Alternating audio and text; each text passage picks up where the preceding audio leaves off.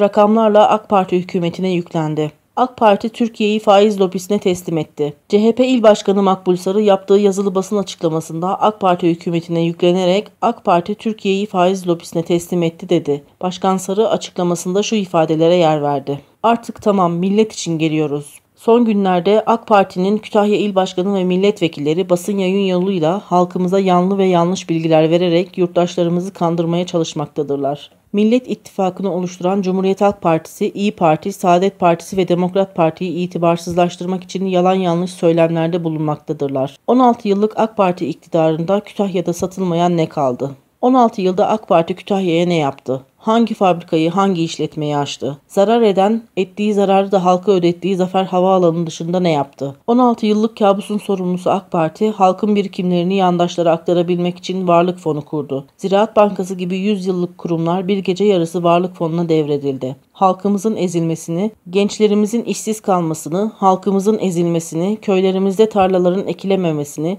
ailelerin yoksullaşmasını görmezden geliyorlar. İşte 16 yıl boyunca kaybedilenlerin ve kaybedenlerin hesabı.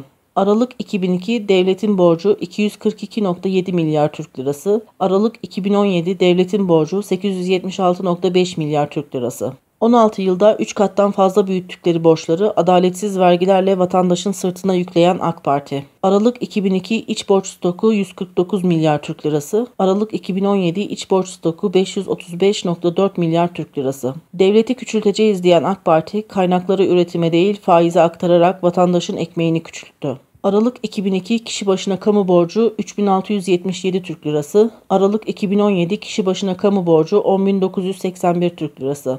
16 yılda kişi başına kamu borcunu 3 kat arttırdılar. Çocuklarımız rızkıyla değil borcuyla birlikte doğuyor. Aralık 2002 özel sektörün dış borcu 43 milyar dolar. Aralık 2017 özel sektörün dış borcu 307.8 milyar dolar. Özel sektör dış borçla ayakta durmaya çalışırken devlet bankalarının olanaklarını yandaşlara peşkeş çekenler kimin iktidarı? Aralık 2002 işsizlik oranı %8.3, Aralık 2017 işsizlik oranı %10.3. AK Parti'nin sözde büyüyen ekonomisi yoksulluğu ve işsizliği küçültmüyor, büyütüyor. Aralık 2002 52 yılda verilen cari açık 43.7 milyar dolar. Aralık 2017 16 yılda verilen cari açık 561.6 milyar dolar. Memleketi tüm rafları ithal mallarla dolu dev bir süpermarkete dönüştüren 16 yılda 52 yılın toplam açığını 13'e katlayan politikalar kimin eseri?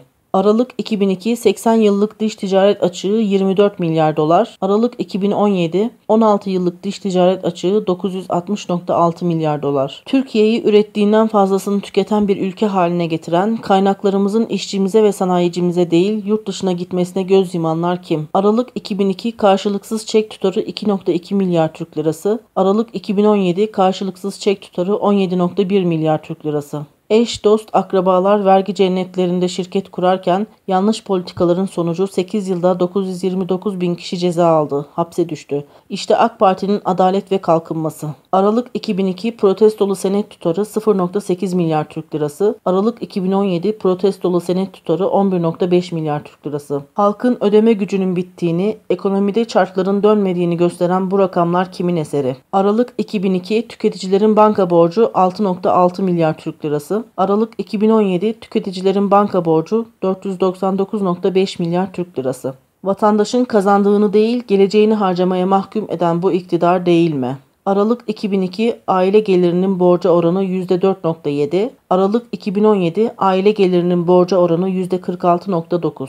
Her aile evine giren paranın neredeyse yarısını borcunu ödemek için kullanıyor. Ayın ilk günü parasız kalan milyonlarca insan hangi ülkede yaşıyor? Aralık 2002 çiftçilerin banka borcu 5.1 milyar Türk lirası. Aralık 2017 çiftçilerin banka borcu 85.5 milyar Türk lirası. 17 kat artan çiftçi borcunun sebebi tarımı bitiren ithal et, ithal saman, ithal nohut, ithal mercimekle çiftçiye rekabet şansı bırakmayan AK Parti politikaları değil mi? Aralık 2002 1 kilo ekmeğin fiyatı 1.03 Türk lirası. Aralık 2017 1 kilo ekmeğin fiyatı 4.19 Türk lirası.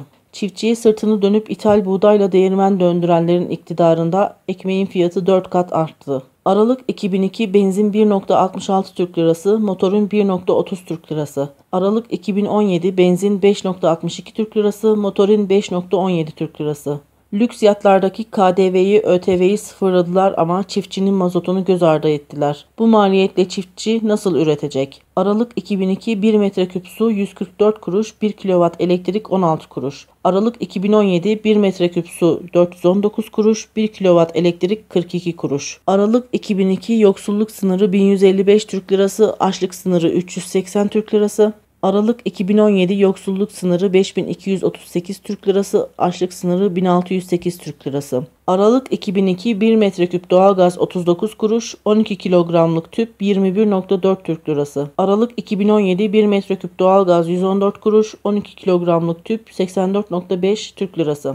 16 yılda devletin ödediği faiz 757 milyar Türk Lirası, vatandaşın ödediği faiz 368 milyar Türk Lirası. AK Parti Türkiye'yi faiz lobisine teslim etti. Kaynaklar yatırıma değil faize gitti. İşsizlik, yoksulluk rekor kırdı.